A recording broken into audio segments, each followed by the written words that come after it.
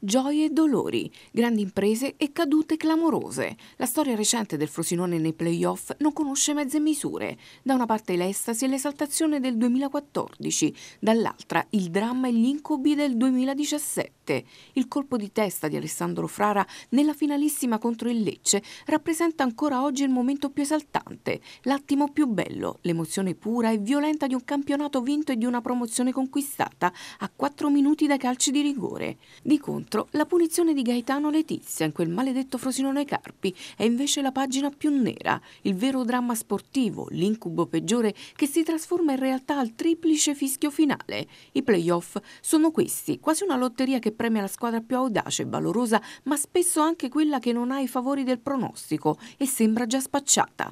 Nei playoff si riparte da zero. Ci vogliono testa, gambe e sangue freddo. Caratteristiche che, scorrendo il nastro della storia recente giall'azzurra, il Frosinone di Roberto Stellone nel maggio 2014 riuscì a ritrovare, nonostante un campionato perso all'ultima giornata sul campo del Perugia ed una stagione giocata tra mille tensioni.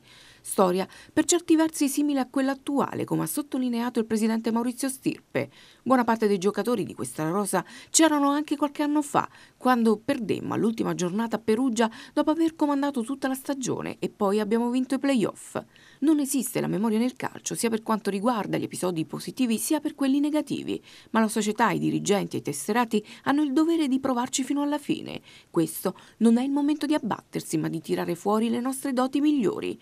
Una sconfitta al fotofinish può però anche svuotarti mentalmente e fisicamente. È quanto accaduto soltanto 12 mesi fa al Frosinone di Pasquale Marino, in lotta per la promozione diretta fino all'ultima giornata della regular season, ma poi clamorosamente eliminato in semifinale finale da una squadra, il Carpi, che aveva chiuso la stagione con 12 punti di ritardo rispetto ai giallazzurri. Gioie e dolori, i playoff sono così, prendere o lasciare.